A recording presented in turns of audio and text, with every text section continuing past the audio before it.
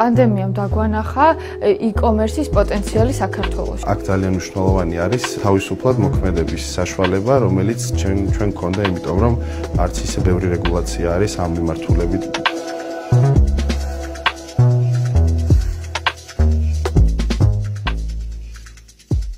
ფაბერის იდეა გაჩნდა 2018 წელს, როდესაც მე და ჩემო პარტნიორმა ანანო დოლაბერიძემ დავინახეთ ძალიან დიდი არაორგანიზებული ბაზარი მეორადი ტანსაცმლის გადაყიდვის. გადავწყვიტეთ, რომ შეგვესწავლა მსოფლიოს სხვადასხვა ქვეყნის მაგალითები.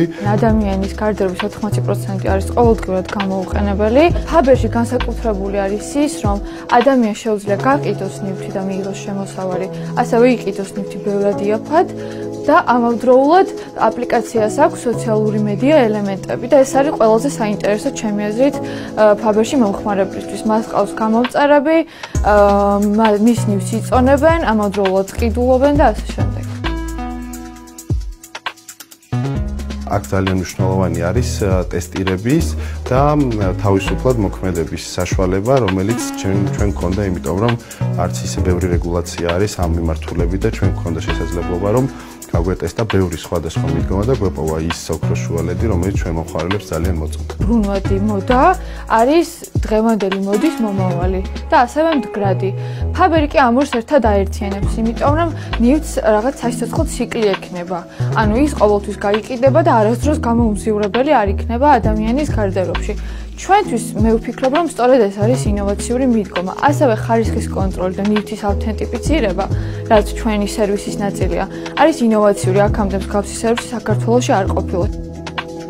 ჩვენთვის ცოტა დაუჯერებელი იყო, როდესაც აპლიკაციის გაშვებიდან პირველ 10 დღეში 10000-ზე მეტი რეგისტრირებული მომხმარებელი ყავდა. ჩვენი კარგი სერვისით და მათზე მუდმივი ორიენტირებულობით და განვითარებით, რაც მთავარია, როგორც ტექნოლოგიური, ისე სერვისის კუთხით, შევძელით, რომ ისინი შეგვენარჩუნებინათ დღევდე და დღეს უკვე 100000-ზე მეტი რეგისტრირებული მომხმარებელი ყავს მხოლოდ საქართველოში. პანდემიამ დაგვანახა e-commerce-ის პოტენციალი საქართველოში, განსაკუთრებით მოდის. რაც შეეხება 2020 წელს, პანდემიის წელს, ჩვენმა გუნდმა, ახალგაზრდულმა გუნდმა კრიტიკული აზროვნებით, თავისუფალი აზროვნებით და ინოვაციური მიდგომით შეძლო, რომ ეს ძალიან რთული წელი შემოეტრიალებინა კომპანიისთვის ასიკეთო და საკმაოდ დიდი ზრდას გვეჩვენებინა ინვესტორებისთვის.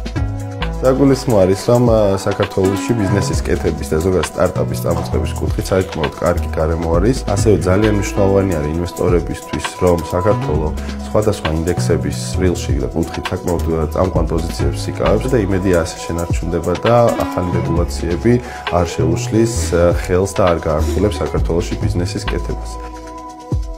თავისუფლება არის კეთილდღეობის შექმნის ძირითადი ფაქტორი და ბევრი რეგულაცია ხელს უშლის ეკონომიკის განვითარებას. იმედოვნებ რომ საქართველოსში ყოველთვის მეტ თავისუფლება იქნება და სულ უფრო და უფრო კრეატიულ და წარმატებულ ბიზნეს წარმოწებებს ვიხილავთ.